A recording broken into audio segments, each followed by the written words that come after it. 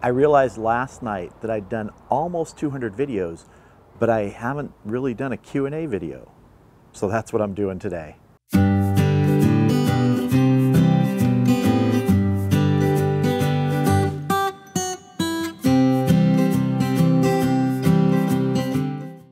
So I've got a list of questions here that are frequently asked in the comments or in live streams, things like that. I thought I'd just go through these and give answers all in one place in one video. All right, the first question is, what is the worst thing I've ever cooked?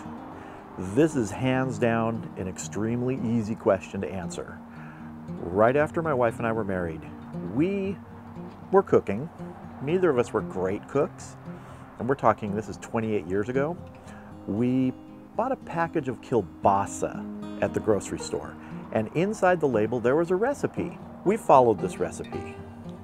We should not have followed this recipe, or we followed it wrong. It was kielbasa covered in Parmesan cheese and other things. We ended up going to Taco Bell later that night. Was not a good scene. That was hands down the worst thing I've ever cooked. Where do you get your wood? I get this question asked so frequently. Uh, I get my wood from a place called the OC Woodshed here in Orange County, California. Uh, great supplier of wood. They've got just about anything you can want. They sell it in sticks, they sell it in chunks. Uh, you get anything there. They also have other accessories and things. Um, they're not sponsoring me or anything like that. I just like going there. The people are good, the supply is good. So I get it at the OC Woodshed. What is my favorite thing to cook? I've been asked this question many times and I've answered it many times in videos, so I'm going to answer it here just so everybody can know. Tri-tip. Tri-tip is my favorite cut of meat to cook. It is very easy to get consistent results if you follow certain methods. Uh, my favorite way of cooking it is what I call the 110 sear method. I'll put a link to that up here. It is one of those cuts of meat that you can almost always get to be tender juicy, flavorful, as long as you just follow a few different steps. Now there are many ways to prepare it, but my favorite way is using that 110 sear method and I, I just love tri-tip. It's probably the thing I've cooked the most over the years. What barbecue type channels do you watch? I've been watching YouTube barbecue channels for a long time. Uh, probably the ones I watch most frequently and the ones I watch that sort of got me into the idea of even making videos and things like that is uh, uh, Smoky Ribs Barbecue and Southern Cuisine, uh, T. Roy Cooks, Ballistic Barbecue, Cowboy Kent Rollins, Aim 'em and Claim 'em Smokers, Phil and Florence. Um, there are dozens and dozens of channels I watch, but those are the ones that you know I've been watching for a while and enjoying. There, some are big, some are small, and there's a lot of channels uh, that are smaller channels that I watch um, very frequently because I enjoy the content. What is your favorite wood?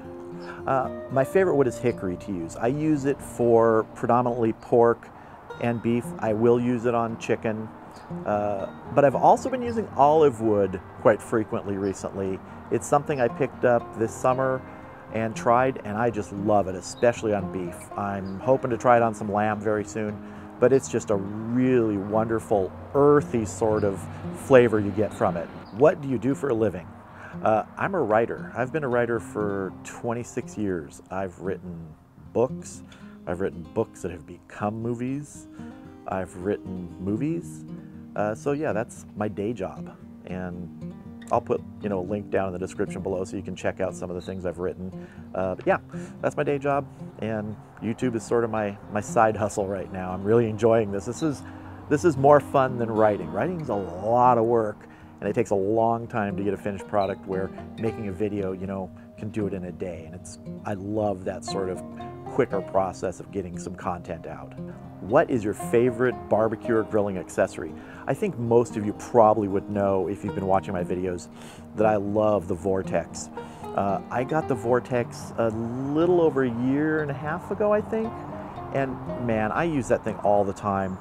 Use it for super high heat cooking, especially of chicken, searing. I'll use it to generate heat under cast iron pans on the Weber kettle. I've used it for indirect, for direct. It's just a very versatile piece of equipment. It doesn't do everything, but it does a lot of the things that I like to do and it does it really well. And it's strange for something so simple, just, you know, some welded steel shaped like a cone. Uh, it's great. I, I love that thing. Do your cooks all go perfectly? No. if you're making videos, uh, editing makes things look a lot better. I, I, will often leave things in that go wrong. If you watched uh, some of my videos recently, you may have seen one where I left out an ingredient. And as I'm getting ready at the end to taste it, it's like, oh, wait, yeah, I forgot that ingredient. so I will occasionally leave in some things like that. Um, no, nothing ever goes, you know, perfect.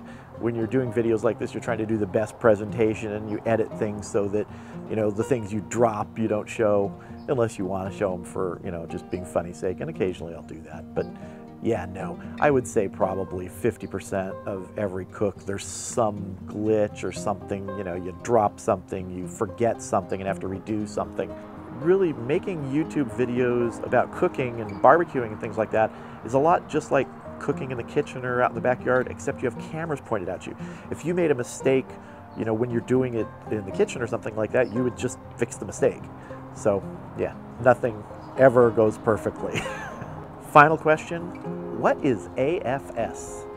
Well, again, if you're a frequent viewer of my videos, uh, you may know that AFS refers to the way that I like my bacon. It stands for acceptable floppy state. I don't like crispy bacon.